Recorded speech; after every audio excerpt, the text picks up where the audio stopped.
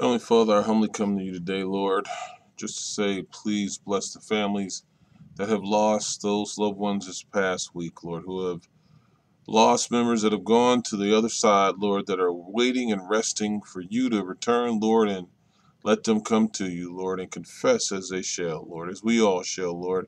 Bless the families that have lost someone, Lord. Comfort them in their time of need and their tears when they are alone, Lord, and in their cries when they are by themselves, Lord. Please wipe the tears away. Please help them through this trying time, Lord, of trial and tribulation, Lord, and emotional strain, Lord, when we want to lash out, Lord, and we just should call on you, Lord, and say, Thank you, Lord, for the time that this person was here, Lord. Thank you for the life that you gave them. Thank you for the opportunity that we had to share that life with them. And thank you, Lord, for salvation because they will see you if they are with you, Lord. So, Lord, I just ask for prayer for those who have lost a loved one, Lord. For the many that have gone away, Lord. For the many that are still here crying and hurting, Lord.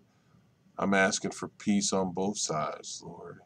You are such a gracious God and a loving God, Lord, and you've given us all so much to ask, even more. Seems like something we shouldn't do, Lord, but you said to call on you, Lord, and I'm calling on you, Lord for all those who don't know to call on you, for those who do know to call on you, and for those who just need your comfort, Lord. And we all need some form of your comfort, Lord, in our mind, in our spirit, in our body, Lord, whatever it may be. I'm asking that you comfort all of those, Lord.